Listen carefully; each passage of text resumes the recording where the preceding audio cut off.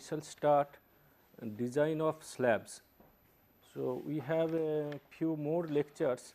So, today we shall start part 1 and this is our lecture number 14 design of slabs part 1.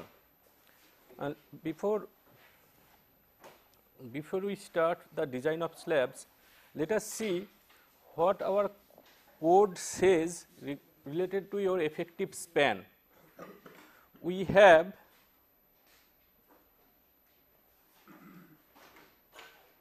say a masonry wall, this is our ground level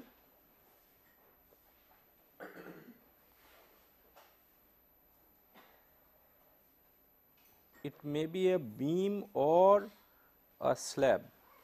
We can take as if it is supported by two masonry walls.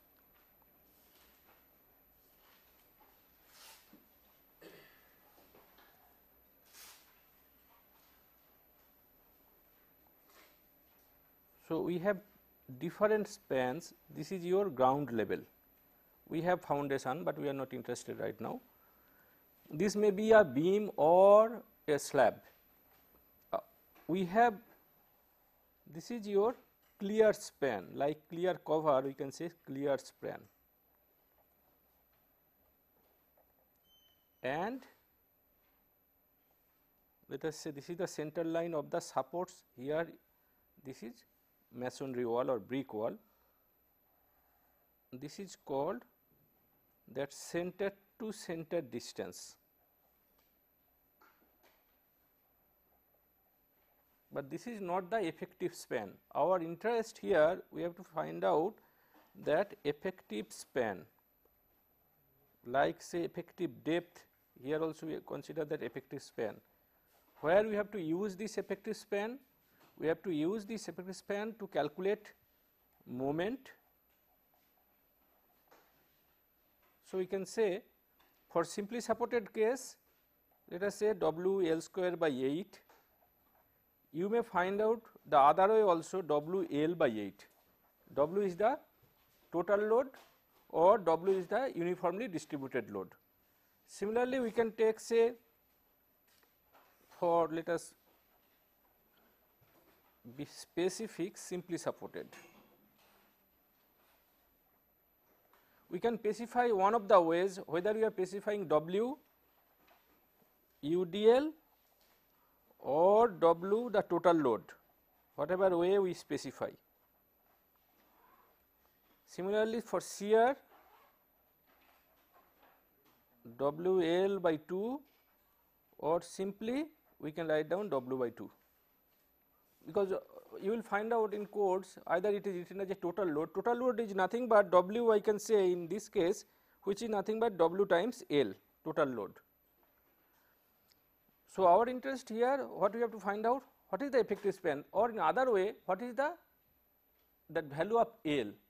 For this case if we take the simply supported case what is the value of L that effective span that we have to find out and let us see that what our code says IS 456 what our code says. We can take the effective span and we shall get it in clause 22.2 IS 456 2000. In design classes we most of the time we refer that code because wherever we have any dispute or other thing that is the code it will help us it will solve that problem. So, if it is simply supported beam or slab, the effective span of a member that is not built integrally with its supports that means there is no moment developed in the support shall be taken the lesser of the following two that means we are having two out of that which will be the lesser that we have to take. So, that means we have to calculate the clear span plus effective depth of slab or beam that means which whichever the case you are considering. In our case in few next few days we shall design slabs. So, we shall take here slab only. So, clear span plus effective depth of slab or beam. So, that we have to take that is one case that is the effective shall get. The other one center to center of supports. Out of these two which one will be minimum that we shall take it as effective span for that problem. So, here if we take say 250 millimeter is the width of the uh, wall brick wall then we can find out the center to center distance. If the slab depth say 125 millimeter is the overall depth, so we can calculate, we can assume certain depth and on the basis of that we can go for calculation of effective span. If it is a 125 millimeter or 150 millimeter that is the thickness of the slab, then we can calculate effective depth and we can find out the effective span.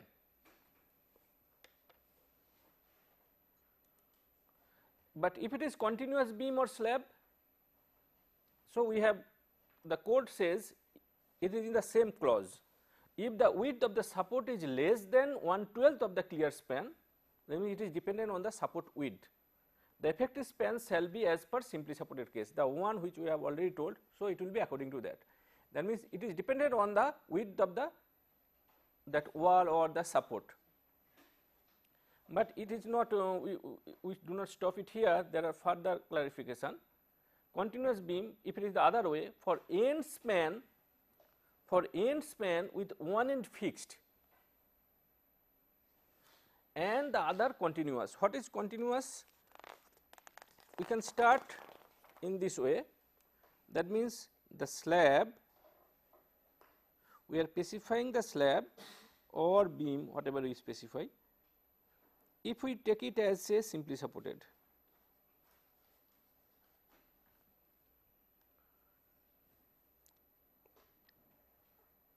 It can move like this.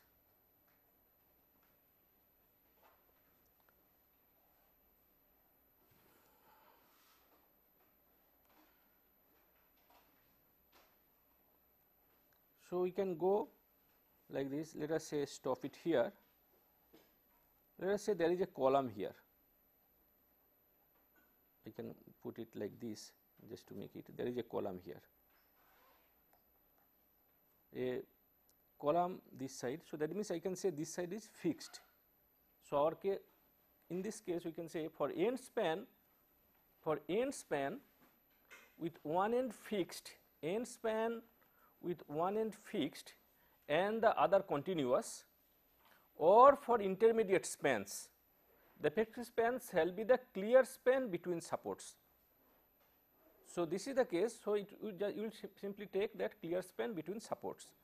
So, we can say for this case this is the clear span and also it is told that for intermediate supports the intermediate span these are the intermediate spans, but so we shall take the clear span.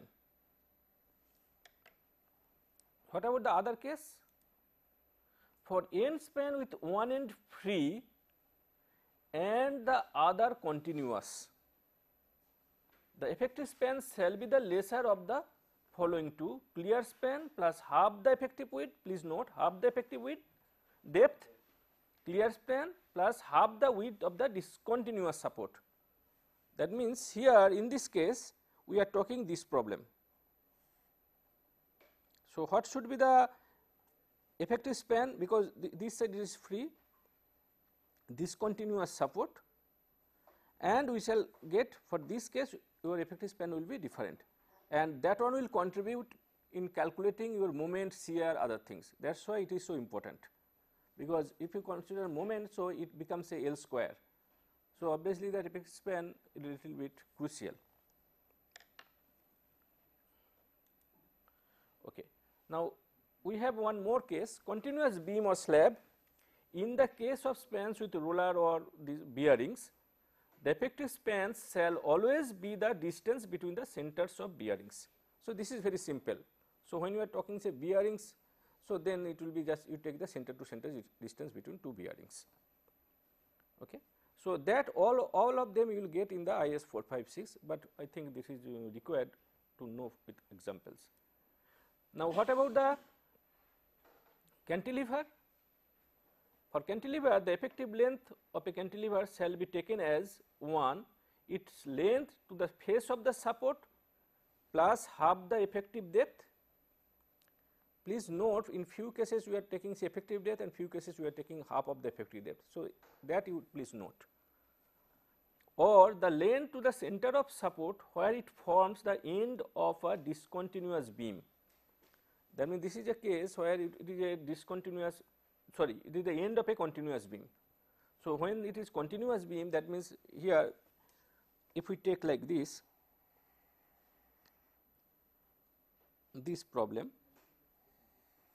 it goes. So, in this case what will happen then we shall take that this portion we shall take it as say your we are talking this is as a continuous uh, continuous beam this is a continuous beam we are considering say and at the end we are talking say your say slab. So, there we shall take the second case the length of the center of support where it forms the end of a continuous beam that we shall take for that problem. So, according to this that effective span we shall decide which is the case what is the support condition and on the basis of that we shall find out the effective span. But what about frames because we have to analyze say your problem. We need this one for analysis purpose. If it is a frame structure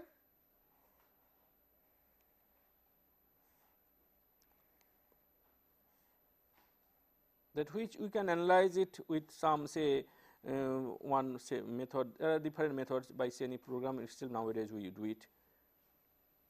So, in this case what will happen? In the analysis of, of a continuous frame center to center distance shall be used. So, we shall not go any experiment anything on that effective depth or anything. So, when we shall do the analysis for frames multi-story frames for say seismic analysis, dead load, live load, different load cases we have to take and accordingly we, we have to solve it. In that case, we shall take that effective span simply the center to center distance. Uh, we do that our code says that moment and shear coefficients for continuous beams which you can get it in clause 22.5 I think because I always referring these clauses. So, so at least you should note down so that you can refer those clauses. So, where shall we use this? Our code gives few coefficients. So, substantially uniformly distributed loads over 3 or more spans. This is for continuous beams or slabs when we shall take substantially uniform. It is not exactly, but it will be say within 10 percent or 15 percent that way we say. So, and if it is say more than over 3 or more spans which do not differ by more than 50 percent of the longest, there is a longest span out of that and if we find that not within uh, more than 15 percent, then we can use these coefficients. So, one table 12 that simply I have copied that one that is bending moment coefficients but we have to use the different coefficients we have to use. So, for span moments and for support moments there is one span moment and there is support moments. So, near middle of end span for span moment and we are talking this one say dead load and imposed load fixed dead load and imposed load fixed. So, loading which are say your chairs uh, if or any machine that is fixed in its position then we take it as a um, fixed imposed load. So, in that case near middle of end span what does it mean? It means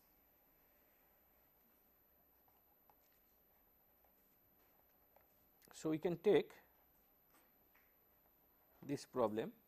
So, near middle of end span why near middle of end span because the bending moment diagram may be sometimes it will be say something like that for uniformly distributed load. So, it will go like this and here it ends because at this end we do not have any anymore. So, it will be near middle of not exactly in the middle. So, it will be near middle of end span and that one we shall get and we have to take that 1 by 12 that coefficient. So, that coefficient what is that coefficient? It means moment equal to if we take say total load. So, 1 by 12 W is the total load and L. So, let us write down W total load on that span where, which one you are considering and L effective span.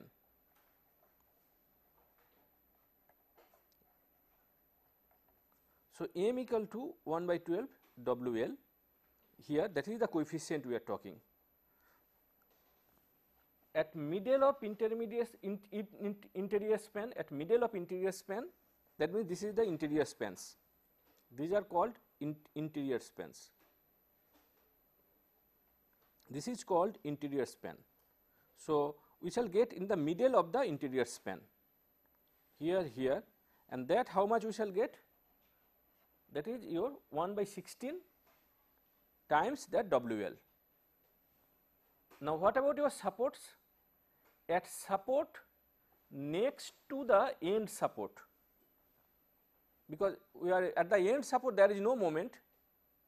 So, at support next to the end support that one will be your minus 1 by 10 at and at other inter interior supports we shall get minus 1 by 12.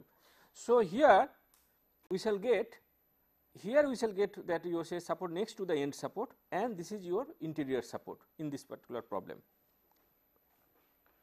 So, this is your case we are considering dead load and imposed load fixed. Now, this one that imposed load not fixed which is movable that means today you have at this position. So, you are say you are in the bedroom itself you can say um, that you are say um, dressing table then you are say cot and there are so many other things almirah all those things you can just move around. So, that way we can say it is not fixed. So, in that case we, we have to take these coefficients. Okay. Now, what about your other part? There is one that shear force coefficients. These shear force coefficients here again the similar fashion the dead load and imposed load that is fixed at end support, at support next to the end support and at all other interior supports. So, we shall get and we are having that next to the end support we have two positions one is the outer side another one in the inner side. What does it mean? It means this is your outer side and this is your inner side and that V that one will be equal to say 0.6 W, W is the total load. If it is a simply supported beam say then W by 2 that is 0.5 instead of that we are having 0 0.4, 0 0.55, 0 0.5, 0 0.6 like that and that we have to take it that means moment and shear force we shall get it. So, that means if the spans are uniform that means say almost constant all the spans same and load also does not differ much then we can use the 12 table 12 and table 13. These two tables we can immediately we can use it and we can find out the moment and shear force.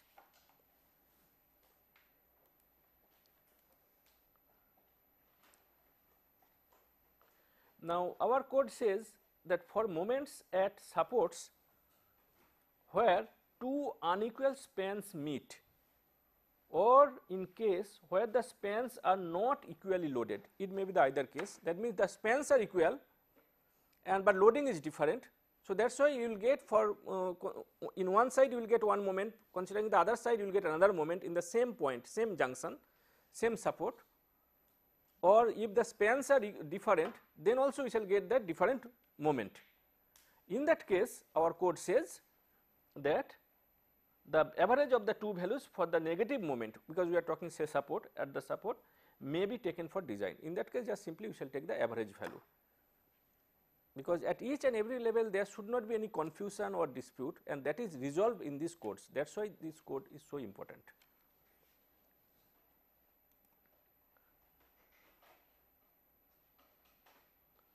So, this is another clause where a member is built into a masonry wall. We have so far we have taken that masonry wall that means it is simply supported, but it may happen that your say beam or slab that is uh, integrally that is uh, in the inserted in the embedded in the masonry wall itself in that case that certain partial fixity may occur. And our code says where a member is built into a masonry wall which develops only partial restraint not full that is not WL square by 12 okay. The member shall be designed to resist a negative moment at the face of the support at the face of the support of WL by 24 WL by 24 instead of having say WL by 12 W is the total load here in this case and L is the effective span. So, WL by 24 that means we are taking half of that So, partial fixity factor you can say half that means it is a semi rigid you can say in one sense or such other restraining moment as may be shown to be applicable or you can argue okay this is the very very determinate problem. So, your partial fixity you know from other some other sources or measurement. So, you can take that one also. So, our course says that also you can take, but that should be only taken if the client or the both sides uh, that agree. Beams or slabs over free end supports where a member is built into a masonry wall which develops only partial restraint, the shear coefficients at the end support that is which is given in table 13 that is the shear coefficients may be increased by 0.05. That means, you can add 0.05 that if it is 0.4 then you add 0.45, if it is 0.55 then you add 0.6. Um, uh, 0.6. So, that way you can take that is for shear and the other one for moment. Now, let us come to our problem that so far we know that what is the support condition, what should be the effective span, how to calculate say your bending moment, how to calculate shear force and that we shall follow. So, but what are the different kinds of slab? If we take there are we call it say reinforced concrete solid slabs mainly we shall take say one way slabs, two way slabs, then flat slabs and flat plates. These are the four different uh, we shall use it. If we say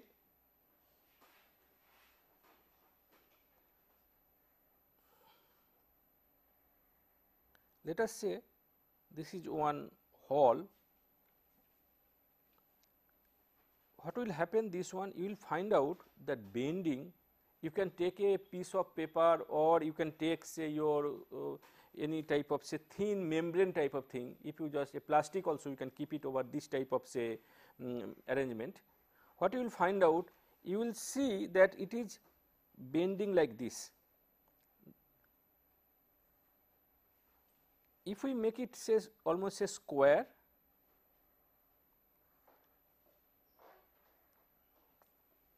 then we can find out that you will see that both sides this side as well as this side. Now, depending on this let us say L x and this is say L y the span in both sides depending on the situation L y by L x we find out that whether it is one way or two ways.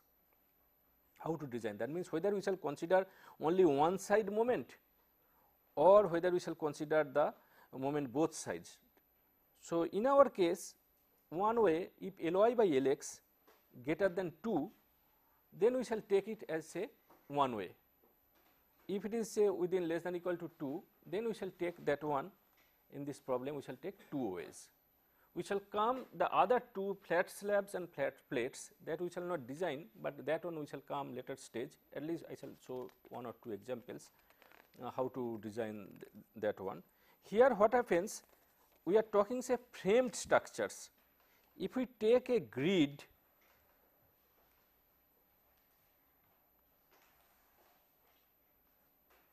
if we take a grid say like this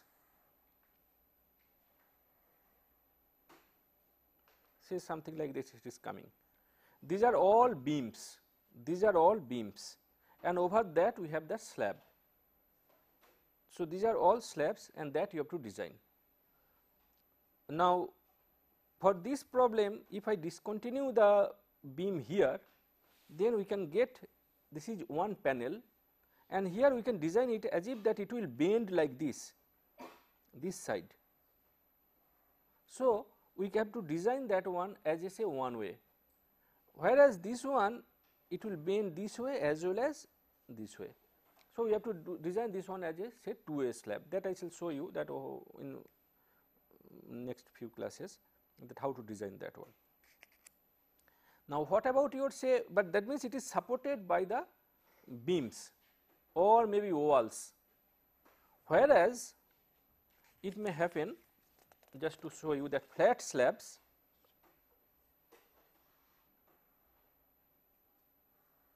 it may happen that it is like this, this is your B column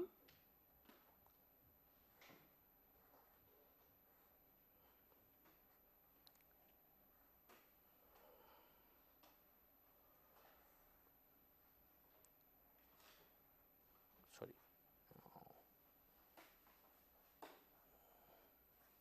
So, this is your we can design it as a say flat slab. We can also take it as a simply say flat plate as if it is supported by that columns only. There is no beam, it is just supported over as if that, a, that there are different say prop, there are different supports and over that you are keeping one plate. Whereas, here you are just making little bit bigger and then over that you are keeping that slab or plate. So, this is your flat slab, this one we talk is say your flat plate. So, these are the four different types of say your slab what we generally design, but in our case we shall only concentrate in this class that is one way slab and two way slabs which we mainly generally use. The other portion at least we should remember that is loading on slabs for buildings. Let us say at least we should remember this one and what our IS 875 1987 that one says obviously we have to take self weight for reinforced concrete already we have used this one 25 kilonewton per cubic meter.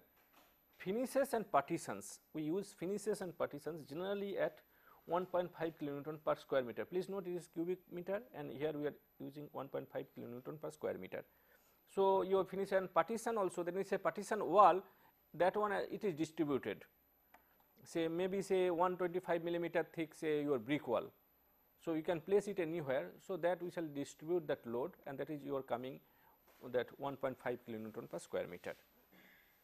The other one that imposed loads for roofs this is 1.5 kilonewton per square meter with access. That means, if we access the roof, if we have access, then we take it 1.5 kilonewton per square meter.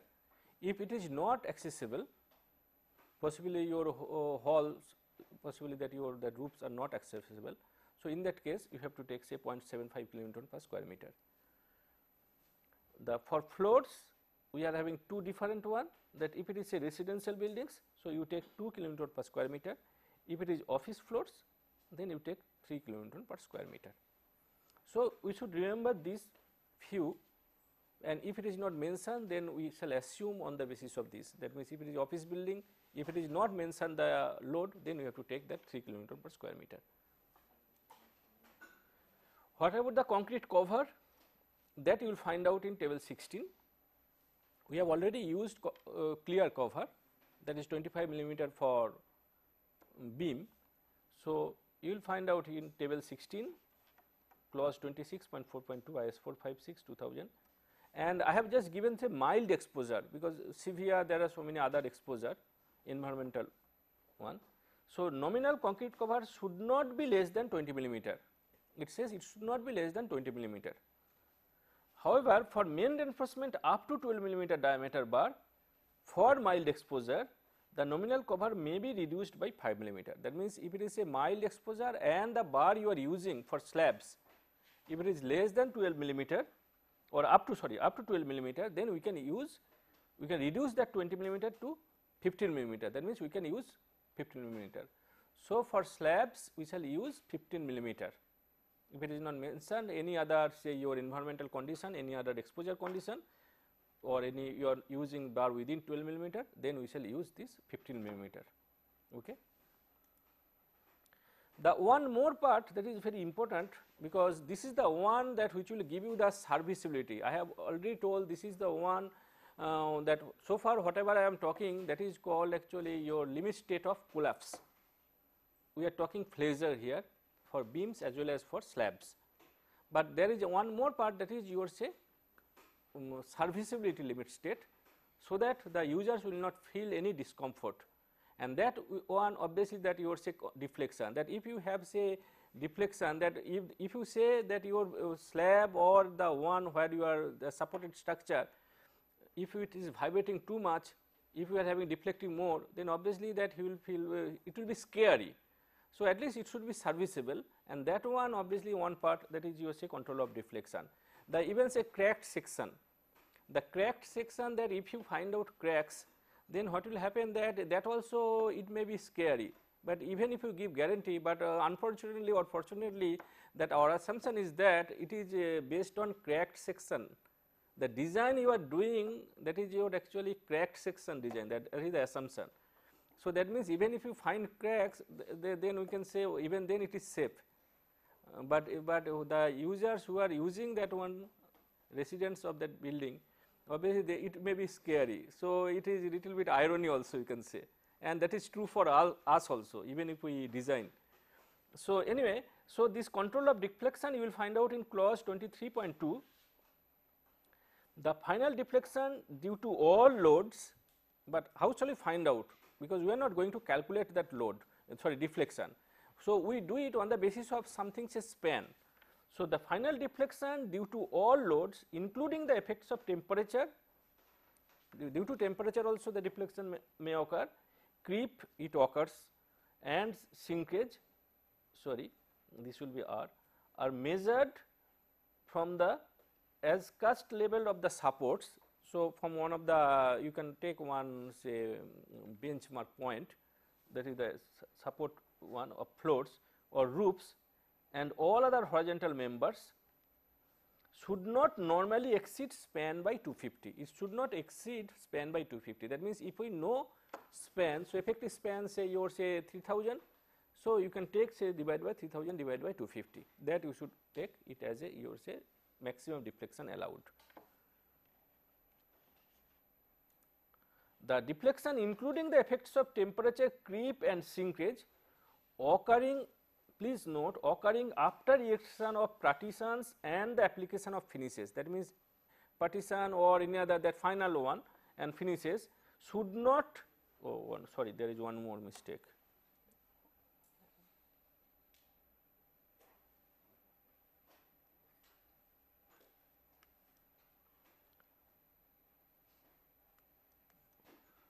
So, normally exceeds span by 350 or 20 millimeter whichever is less. So, you should remember that span by 350 that is the maximum allowed that means deflection or 20 millimeter that is specified that in no case it should not be more than 20 millimeter.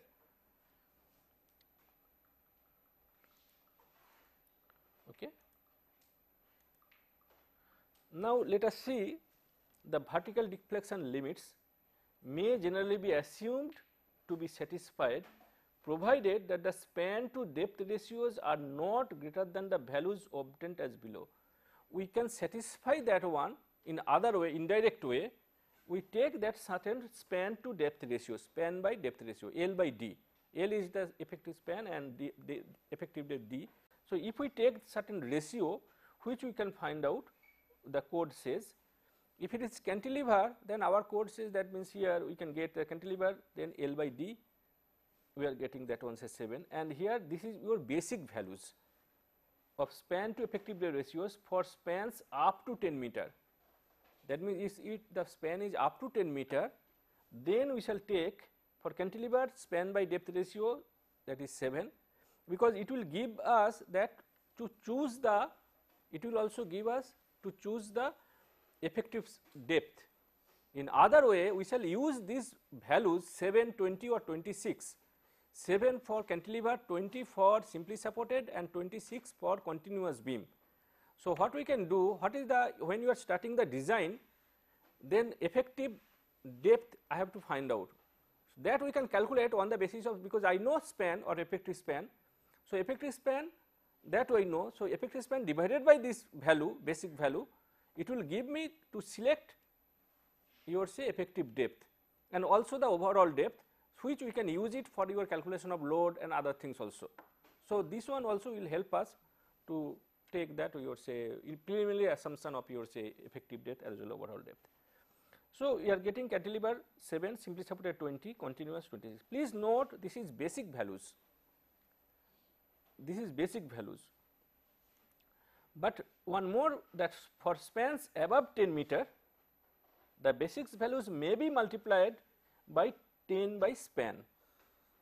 So, if it is more than 10 meter, so 10 by span, so it will be further reduced in meters except for cantilever in which case deflection calculation should be made. That means, for cantilever beam or slab if it is more than 10 meter then in that case we have to you have to calculate your deflection. Otherwise, we can use the that coefficient or that value we can multiply with that 10 by span and then we can find out a new value and that we can use it. So, you have started with some basic value then we are modifying according to the span that is 1 we can say that one say your k 1. Okay. Now, depending on the area and the stress of steel for tension reinforcement the basic values that means the first one that which I have given or the second one depending on the that uh, span by 10 uh, sorry 10 by span multiplying that one shall be modified by multiplying with the modification factor obtained as per figure 4 there is one figure so that we can take it and that one why what is the case? Area and the stress of steel that from there we shall find out and we can further modify the basic value. And let us see that figure 4 so, this is your that figure 4 for different grade different stress we can take it and this is one say service load in Newton per square meter from there that is the modification that means we can use this code sorry figure and from there from the percentage of steel we can further we can modify. Now, how do I know that initially if we start with some say simply supported beam 20. So, here we, we can we have to modify the value, but how do I know that means it will come from our experiments that what is the percent of steel generally we use for slabs. So, on the basis of that we can find out certain factor or in other way we have to redesign it. We have to start with basic value then you do the whole process again you do it, but that we generally do not do it because if we are experienced if we know that one. So, then on the very first trial itself we can go. Depending on the area of compression reinforcement the value of span to depth ratios be further modified by multiplying with the modification factor obtained as per figure 5. There is one more figure in that IS 456 from there we can get another modification. So, this is your that depending on the compression reinforcement. The first one figure 4 that is on the tensile reinforcement and the other one on the basis of the compression reinforcement. So, our basic value will be modified with the tension reinforcement also on the basis of compression reinforcement. Now, for flanged beams the basic values be modified as per figure 6 and the reinforcement for use in figure 4 and figure 5 should be based on area of section BFD. This, please note this is BFD that we have to take and this is your that figure 6. So, uh, for slab design or also for beam design we have to take all those things that which I have not given previously because I thought at least we should concentrate on that formulas that which we are using say mu equal to 0.138 FCKBD square like that. And now we are slowly we are coming to that codes and other things that how to how to design it. So, the beam slab design is nothing but you can say a beam design itself only thing that in the slab design we take that width of the slab that is 1000 1000 millimeter that means we take 1 meter width and that is not so we are doing the same beam design only thing that here we are taking that 1 meter and here also that another very simple thing that we are taking only rectangular one. So, now let us at least start the problem and which we shall continue in the next class. So, our problem let us start with one example. So, design of one way slab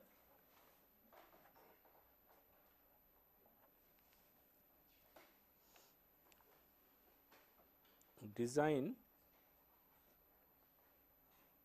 uh, simply supported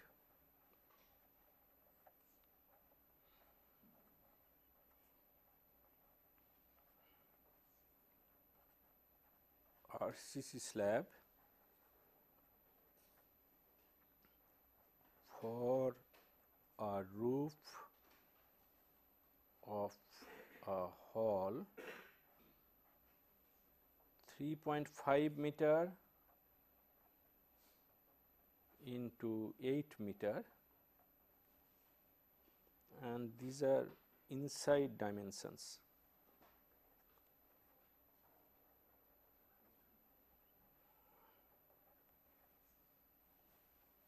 with 250 millimeter walls all around. So, it is supported by 250 millimeter millimeter walls all around. Let us assume a live load of 4 kilonewton per square meter and finish because there is no partition finish 1.0 kilonewton square meter. Use concrete M20 and steel Fe 415. So, we have to design of one way slab, design a simply supported RCC slab for a roof of a hall 3.5 meter into 8 meter that is the inside dimension. So, clear span here 3.5 meter in one side and another side 8 meter. A symmetry is one way, so we have to take 3.5 meter. With 250 millimeter walls all around, assume a live load of 4 kilonewton per square meter, though it is quite high, but anyway just for problem sake let us take it and finish 1 kilonewton per square meter. I have given 1.5, but here we are not using any partition. Use concrete M20 and steel Fe 415. So, this is the problem. So, let us do the first step that is your calculation of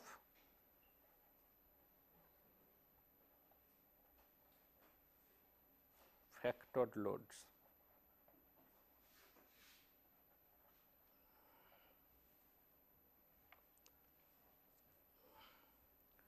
Let us take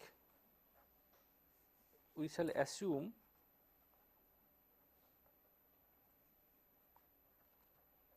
span by d equal to say 25.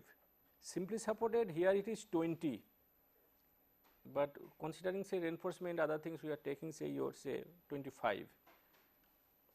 So, we can find out d equal to span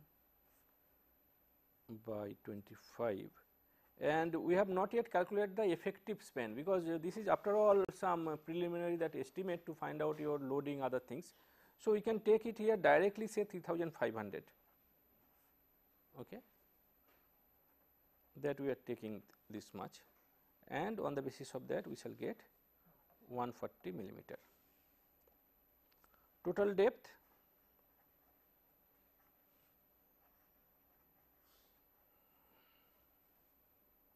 Equal to 140 plus uh, clear cover. Let us write down clear cover plus 5 by 2 I think I should write down here D. D plus clear cover plus 5 by 2 D equal to here 140 clear cover how much shall we take? Let us take assume 10 mm dia bar. For slab we shall generally use that 8 mm, 10 mm or 12 mm. Generally we use. So, Uh, in our case we can use the clear cover even for mild exposure we are getting say 15. So, for mild exposure we are getting 15 because we are using less than or equal to 12 millimeter plus so 10 by 2 and we get 160 millimeter. So, we can now we can calculate the dead load. Now, we can calculate the dead load. Dead load dead load.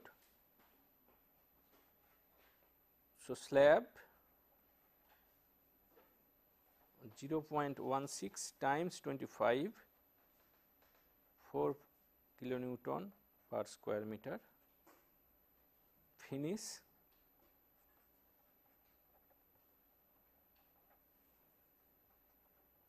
One kilonewton per square meter which already given. Dead load 5 kilonewton per square meter. Live load already specified 4 kilonewton per square meter. Okay. So, factored load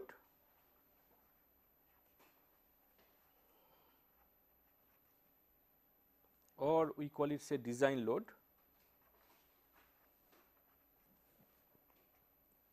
So, we are talking dead load and live load only. So, let us multiply with 1.5 only. So, it comes as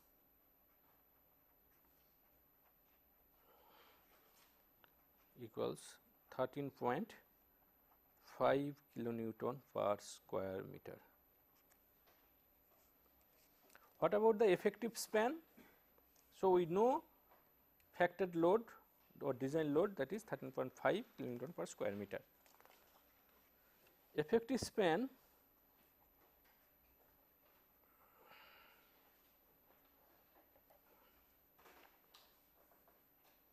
we have two let us write down one 3.5 plus that 0.25 that width of wall 250 millimeter which comes as 3.75 meter. The other one 3.5 plus effective depth. Effective depth we have computed, effective depth we have computed 140 millimeter. Effective depth we have computed 140 millimeter. So, we can take it as 0.14 and this comes as 3.64 meter. Therefore, effective span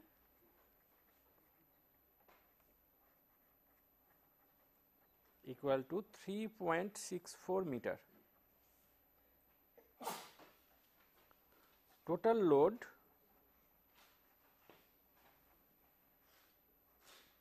for meter width equals 13.5 times sorry sorry not per meter width yes per meter width 13.5 times 3.64 which comes as 49.14 kilonewton. We are talking the total load. So, 3.64 is the span and 13.5 kilonewton per square meter that is the factored load or design load. So, 13.5 times 3.64 which comes as 49.14 kilonewton. Okay. So, ultimate now let us calculate ultimate moment and shear ultimate moment and shear m u equal to total load times effective span divided by 8 equals 49.14 times 3.64 divided by 8 equals to 22.3587 kilonewton meter.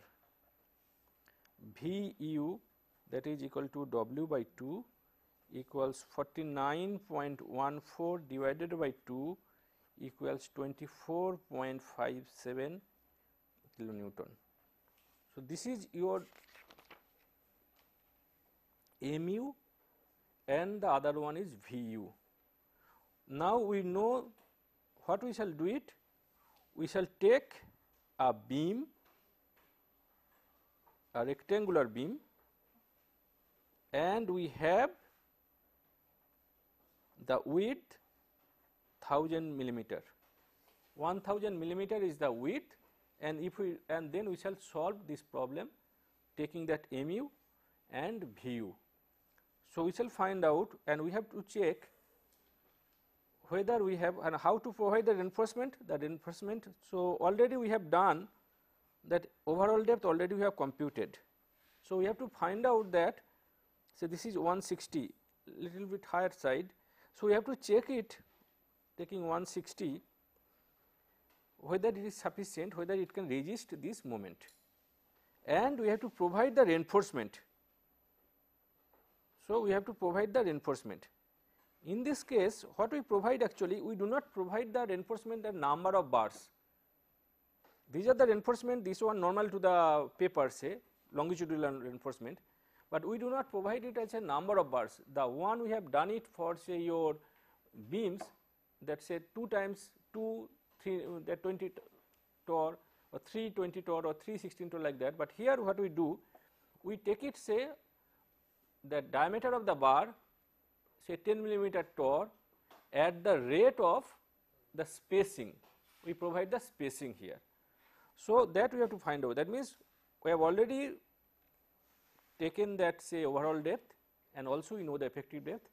So, we have to check that taking this moment whether that effective depth is coming less than the computed effective less than the provided effective depth.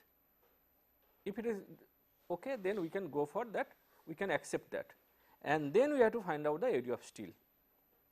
Then we have to check that VU generally we do not check it, but we shall check for this problem whether the tau V that shear stress we have computed on the basis of this VU whether we are getting that one less than the tau C whether we are getting less than that 0.15 percent as per the table 19 of IS 456.